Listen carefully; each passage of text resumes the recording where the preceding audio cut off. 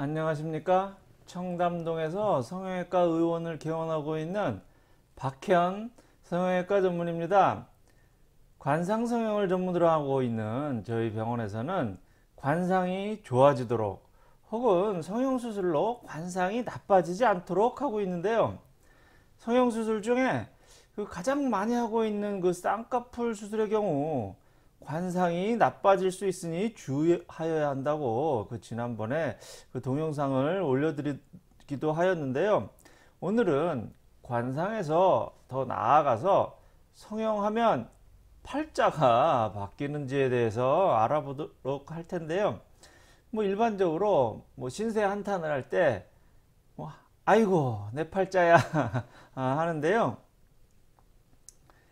사주팔자에서 유래된 팔자라는 말은 동양의 역학에서 태어난 연도, 월, 일, 시, 이 네 개의 기둥을 사주, 네 개의 기둥, 이 사주를 음과 양으로 나누어 여덟 개의 팔자라고 해서 사주 팔자가 된 것인데 본인이 태어난 연, 월, 일, 시는 바뀌는 것이 아니므로 이론적으로는 얼굴이 어떻게 변하든 간에 사주팔자는 변하지 않는 것입니다.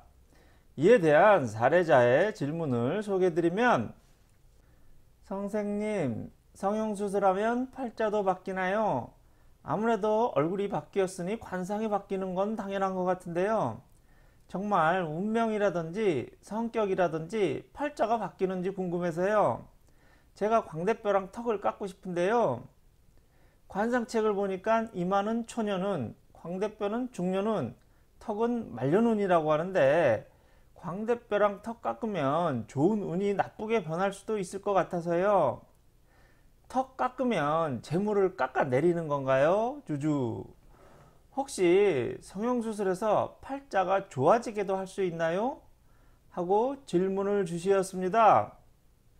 사주 불려 관상, 관상 불려 심상 이라는 말이 있는데요.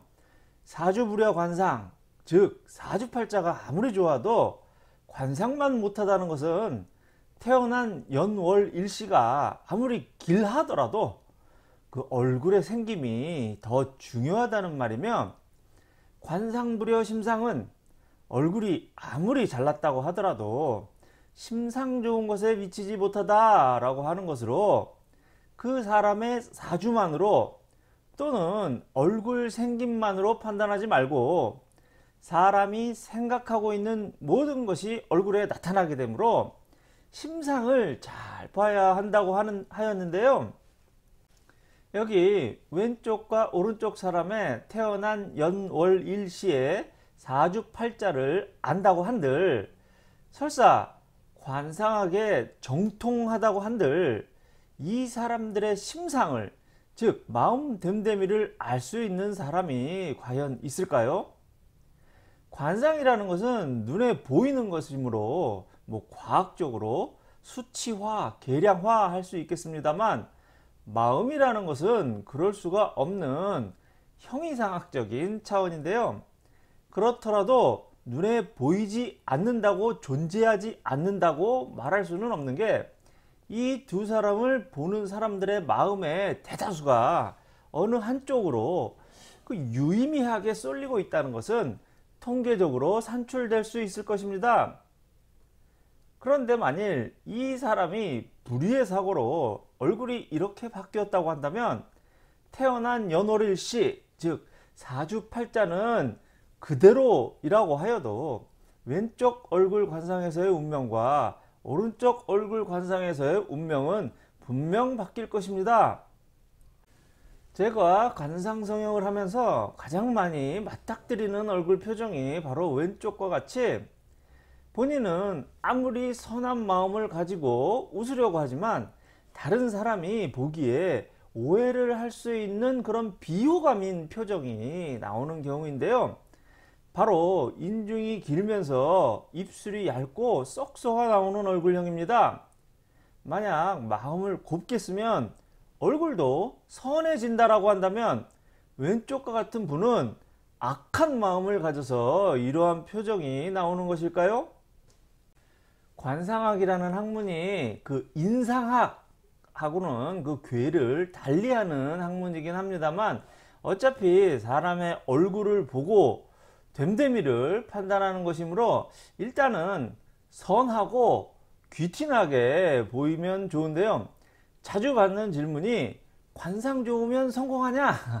라는 어, 말씀이신데 이를 예를 들어서 말씀을 드리면 야 얘 머리 좋아 그 하는 말하고 야 얘 공부 잘해 하는 말하고 이 같은 말이 아니지 않습니까? 머리가 좋더라도 그 노력을 안 하면 공부를 잘 할 수 없는 것이겠고 머리가 좀 부족하다고 하더라도 뭐 우공이산의 집념으로 성적이 잘 나오는 사람이 있듯이 관상이 좋다고 해서 꼭 성공하는 것은 아니고 사주팔자가 좋다고 해서 그 사람이 운명이 꼭 좋다는 이야기도 아니겠습니다.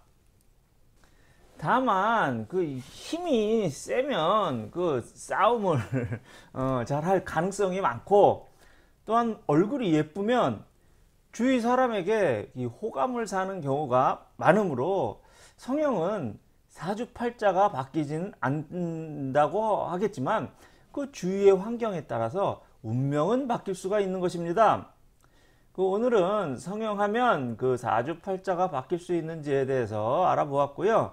다음 시간에는 성형을 하면 그 부부 금슬이 어떻게 되는지에 대해서 그 연구한 논문을 가지고 찾아뵙도록 하겠습니다.